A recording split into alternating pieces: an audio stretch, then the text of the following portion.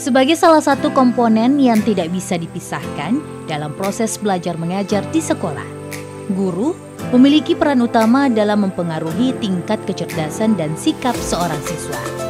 Dari tahun ke tahun, jumlah populasi siswa yang ada di Indonesia, khususnya di wilayah timur, terus meningkat. Hal ini tentu membuat pemerintah harus memperbanyak jumlah kuota guru yang harus mengajar di sekolah, terutama di bidang pendidikan agama. Karena hal yang paling mendasar dalam membentuk pola perilaku siswa adalah agama.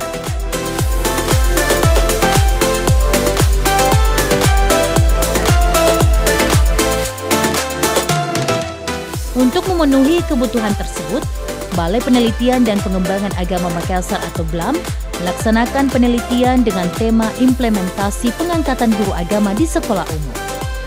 Kegiatan ini bertujuan untuk mengkaji tentang kebutuhan guru pendidikan agama yang sangat mendesak, mengingat jumlahnya terus berkurang dan distribusi guru agama tidak merata di semua sekolah.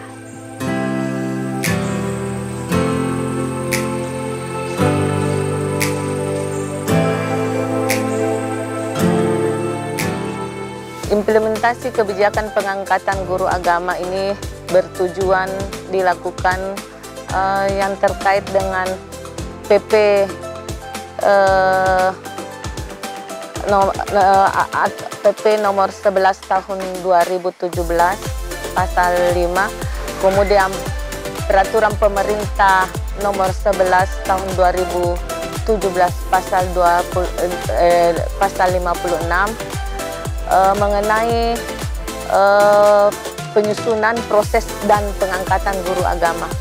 Kemudian yang ketiga adalah Permenpan 2018 eh, terkait dengan kecenderungan ataupun uh, keberpihakan uh, pemerintah dalam pengangkatan guru agama tersebut.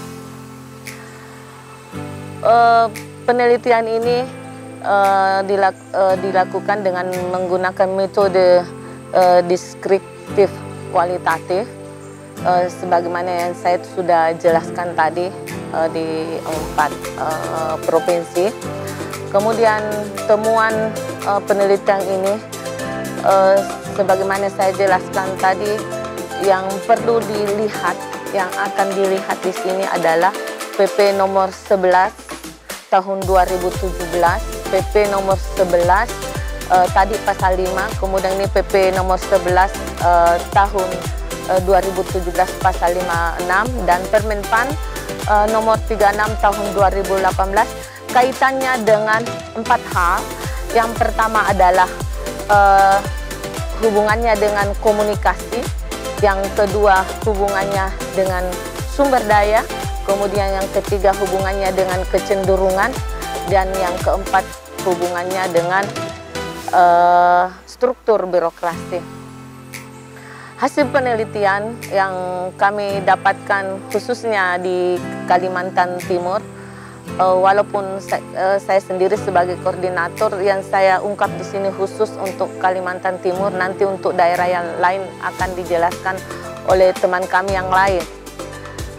Uh, untuk komunikasi yang pertama di sini, komunikasi antara Kementerian Agama dengan uh, Diknas itu komunikasi antar dinas pendidikan dengan Kementerian Agama di sini sempat ada terputus.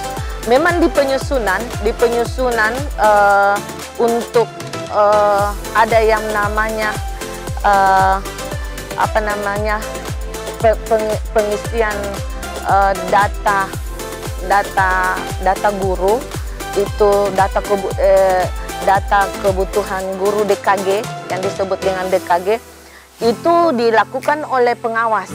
Pengawas yang ada di Kanur semua gu, eh, pengawas agama baik pengawas guru agama Islam agama Kristen agama Buddha eh, agama Katolik itu semua melakukan eh, penyusunan eh, eh ter, ter, bukan penyusunan eh, pendataan akan tetapi uh, terputus hanya sampai di situ saja.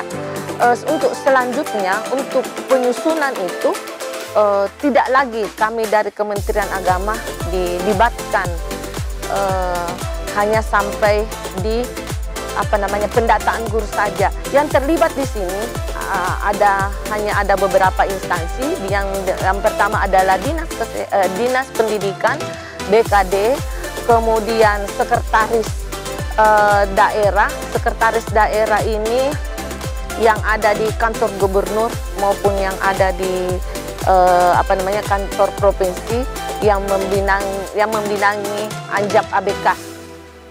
Nah, kemudian yang terakhir adalah uh, Menpan itu ketika jadi uh, ketika penyusunan di sini yang berperan adalah uh, BKD dengan apa namanya BKD dengan Diknas uh, kemudian diproses uh, apa namanya diproses uh, untuk uh, pengangkatan ini di sekretariat uh, daerah dalam dalam rangka untuk uh, berapa guru yang dibutuhkan. Kemudian uh, untuk uh, apa namanya pe, uh, penetapannya itu Menpan yang membutuhkan itu jadi sama sekali Kementerian Agama tidak dilibatkan dalam uh, baik penyusunan maupun sampai kepada pengangkatan guru agama. Nah, inilah uh, dari dari kami. Kemudian di bagaimana sumber uh, sumber daya.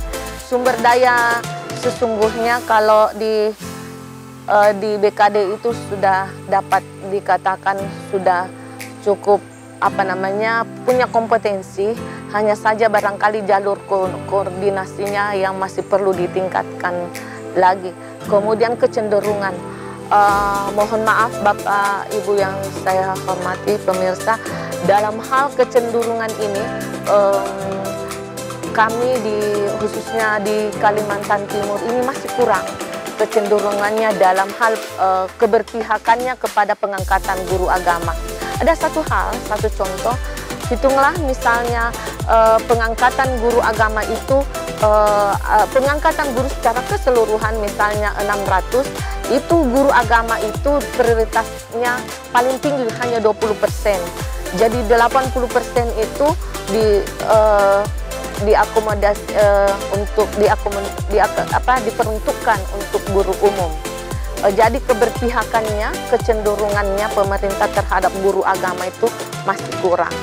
Kemudian masalah struktur birokrasinya juga masih cukup uh, apa namanya uh, jelimet kata orang Jawa, maksudnya masih masih apa ya masih masih ribet karena struktur birokrasinya itu dimulai dari Dignas, di BKD sampai dari BKD ke Uh, sebelum ke BKD juga ke sekretaris daerah, kemudian dari sekretaris daerah kembali lagi ke uh, dinas pendidikan pusat, dari dinas pendidikan pusat kembali lagi ke uh, sekretaris, baru sekretaris kembali lagi uh, kepada di BKD terakhir baru di Menpan. Jadi ini juga apa namanya struktur birokrasinya dalam hal pengangkatan guru agama juga uh, masih masih apa namanya masih meng, uh, perlu di